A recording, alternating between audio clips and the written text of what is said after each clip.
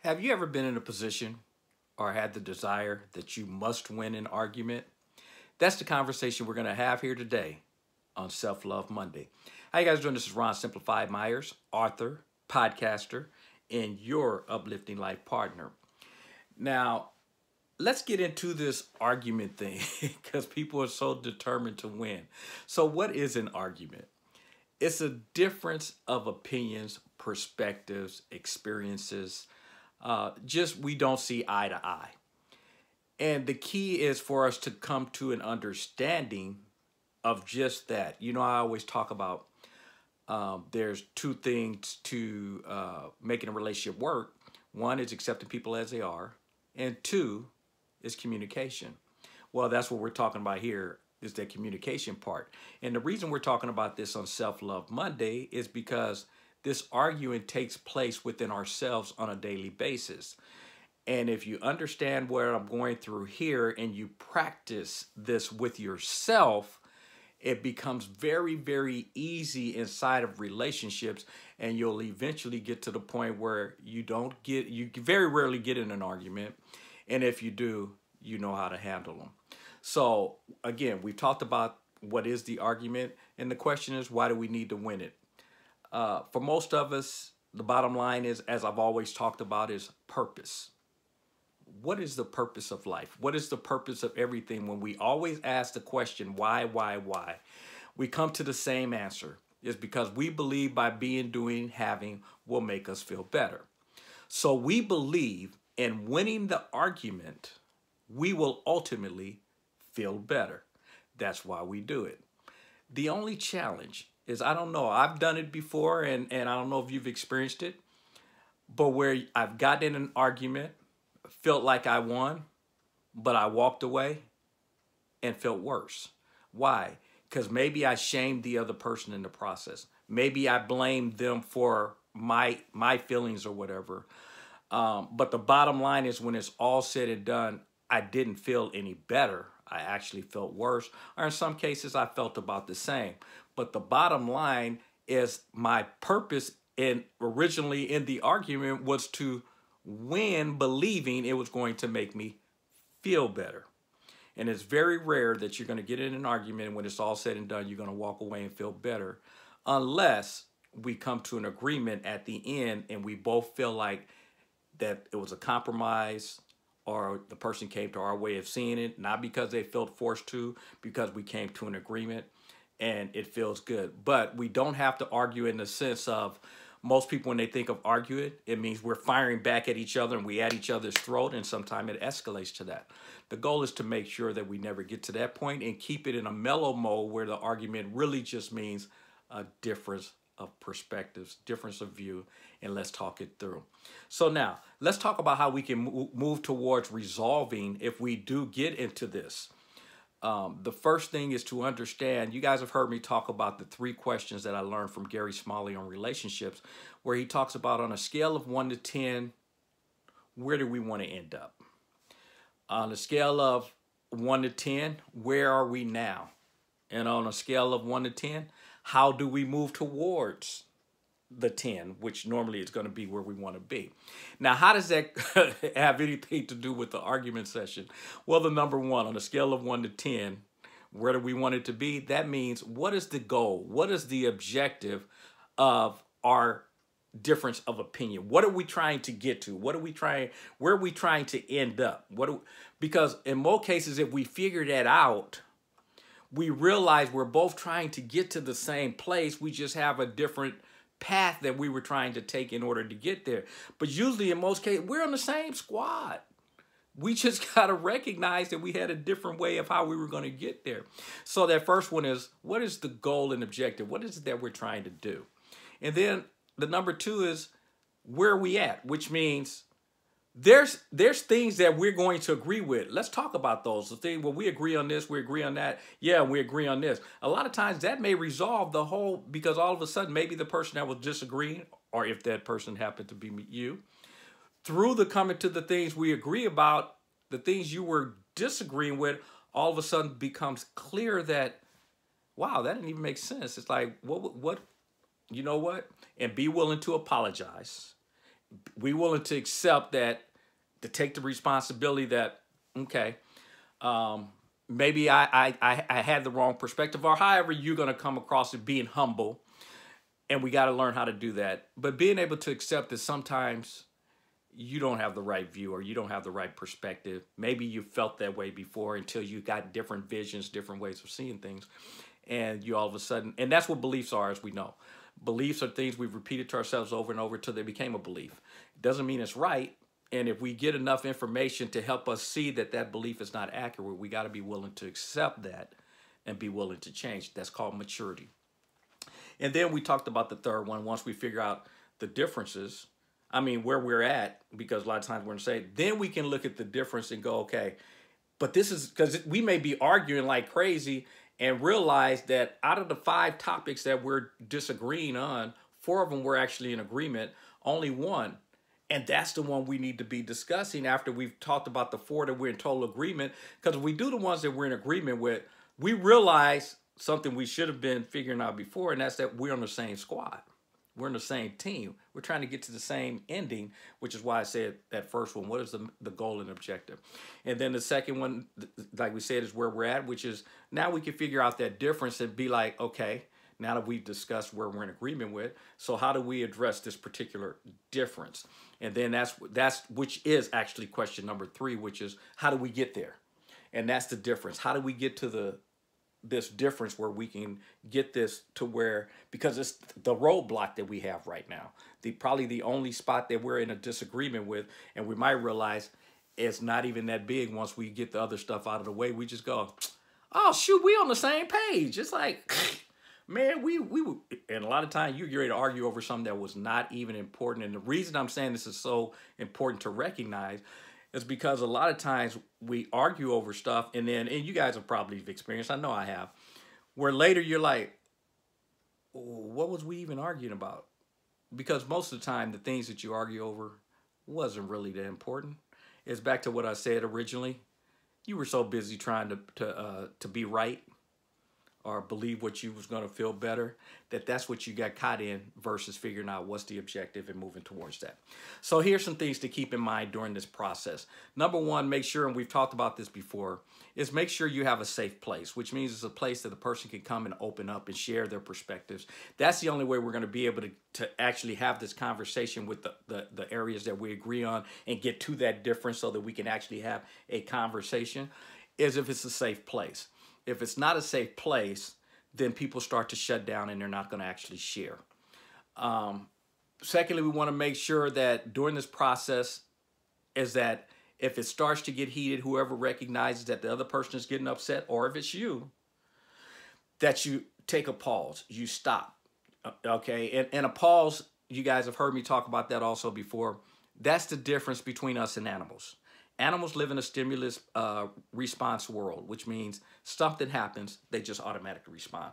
Unfortunately, we as human beings have a tendency to live in that kind of environment, and that's usually what happens in arguments. Someone says something, that's that stimulus, and you just respond. Be careful, because sometimes you get triggered and you take something they said in the wrong way, you respond, and you say something that triggers something in them now that makes them respond and now you guys aren't even on topic. You guys are taking shots at each other and trying to hurt each other and that's never a good thing. But recognize that if you're starting to feel a certain way which is uncomfortable or you recognizing them? That's the beauty of being a human being. Pause. Stop. Breathe you don't have to talk the whole i mean and folks i am really guilty of this because you guys know. That's my personality. I can i i can i can get on a roll i can talk but it's learning the best communication skill. I talked about that the other day. Is listening. If we learn to truly listen most arguments disappear because you really hear where another person is coming from and it makes the conversation a lot easier. So, but anyway, make sure you take the pause if necessary, if you feel that it is what's taking place in your relationship. And the pause could mean, let's continue this in the next half an hour, hour. Um, you know what? I need to just go outside and cool off for a little while. I just need to go in another room and let me sit. But, you know, we're going to get back and we're going to finish this. Uh, don't leave that to the person thinking that you just walked out because uh, that will create chaos in your relationship if a person feels like you just stormed out of the room. And make sure if you're a couple, and I talked about this once before too, that if you're a person that screams and they tell you if you scream, I'm leaving, so you screamed and they left, we got some issues. You quit screaming so they don't have to leave. Let's get good at noticing that it is getting kind of heated. Take that time to pause. And if you're a person that you do need to maybe say, you know what, let me go in the other room for, you know, 10, 15 minutes and we'll come back and we'll finish this because I just need a chance to, you know, let this go on in my head. But my thing is truly, if you recognize the objective as I started off with is that we're on the same squad, we're in this together, folks. Most of these quote unquote arguments that take place, they'll be diffused from the start and we'll be able to talk each other because that's what I was actually going to say with as as closing tips. And and the number one of that is kind of what I'm talking about now is recognizing you're on the same team, recognizing we're in this together. Even if you're not a partnership, recognizing on the same team means the goal is the end goal is the same that we have something we're trying to get accomplished. I remember hearing um, Tony Robbins shared the story and uh, that he was saying it was Ronald Reagan and uh, Gorbachev, I guess. They were kind of in a meeting and they were kind of going at it because each one thought the other one was evil and kind of what we're talking about here that they're against you and and they're trying to tear you down or whatever the case may be but bottom line is the two of them weren't seeing eye to eye and they said what turned it around, he said when he asked Gorbachev what turned everything around, the two world leaders to keep them from fighting each other, is Ronald Reagan basically paused and said, we got off on the wrong foot. Let's start again. And he reached out his hand and he says, my name is Ronald Reagan. And basically said, let's basically, let's get on the same squad. Let's start over. And sometimes that's all you got to do for people to just go, whoa, hold up. And again, the major reason that I'm talking about this is because you need to do this with yourself. Real, I hope you on your team. As I've said before, you need to be your number one cheerleader. And when you catch this on yourself and you're beating yourself down and you're done, stop doing kind of the same things that I'm talking about because it holds true. Pause. What is the goal? What is the objective? Where am I at now? And how do I get there? So it's not just in outside relationships. It's most important about the relationship with yourself. Because again, folks, again, as I always keep saying, if you get good at this stuff with yourself, it becomes a lot easier to do it with other people. And then the second thing, aside from, you know, like I said, uh, recognizing we're on the same team, is realizing you don't have to be right. Whew. That one for me was a tough one. I've shared that before that I had a family member that um, that's actually how I came up with my motto. Um, we would argue because this person is a person. If you say red, they say blue. You say blue, they say red. It's just that's just the way they like to be. They now they've shared with me their thing is they always want to see the other side of stuff, and if that works for them, cool. And that's their their uh, explanation for it. But for me, I just have a challenge when every time you say something, someone that's going to automatically take the other side. Uh, even if some of the things that they're even in agreement with you you know they agree with you, but they take the other side just because. And it's like, now, if we're just trying to have a conversation where we're trying to look at all angles, you guys get me? Where we're like, okay, what are all the different possibilities? I'm with you. That kind of personality would be awesome because they're going to throw all the stuff in there and you go, ooh, that's good. You know, I, I didn't think of that one. Okay, well, what else? What else? But not if a person's just disputing, and especially if the stuff that you have, you know, is accurate information, and they're just playing, and they're throwing information that you know is not accurate, and they're just talking, folks, that does become frustrating. But again, for me, what I had to do, because I was a person that I almost was about to cut out of my life, um, because I was like, that's when I was first starting into self-development stuff, and I was like, man, yeah, cut out all negative people. I ain't got to put up with this. And then, um, again, I've read a book that said everything will die or break depending on what it is. And it tells you to practice that so that you can basically come back and appreciate what's in front of you. And so in this particular person's case, um, I, I didn't have anything to do that day. And I was like, well, I can't go by their home because uh, they were out of town. And then I practiced that exercise instantly. Like I was like, what if I could never see them again? And it just was like, hit my heart. And I was like, wow, that would be devastating because that person plays such a major role in my life. And so I had to figure out how can I have a relationship with this person and keep them in my life and cut out all the arguing and disputing, kind of what we're talking about here. And that's when I came up with I recognized that we weren't weren't in all cases we weren't even arguing over being right or wrong because he just wanted to argue, but what I did is realize we were basically given opinions, perspectives, views. And now you guys probably already know where I'm headed because that's why my motto is it ain't right, it ain't wrong, it's my opinion because that's what I recognize. And if you understand these arguments that usually takes place, that's exactly what's going on people are giving their opinions or you're sharing your opinion and that includes the conversation with yourself and it doesn't make it right. It doesn't make it again wrong. It's an opinion. It's a perspective. It's a view. You just have to figure out is it moving me to where towards where I want, getting me the results that I want or if it's holding me back. And if it's holding me back, then I need to be open to be humble to say what are some other options and that's why I said being able to have conversations with people, hear their views, hear their perspectives. That's those differences that we're talking about. And you may come to conclusion that their view actually works better than the view that you originally had.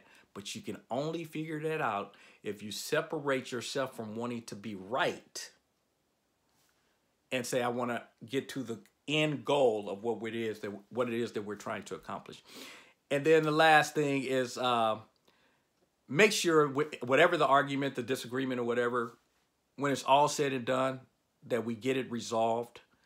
We come to a compromise. And again, you guys know I always talk about I'm not a person that's into when people say you have to sacrifice. I believe sacrificing is a win-lose scenario.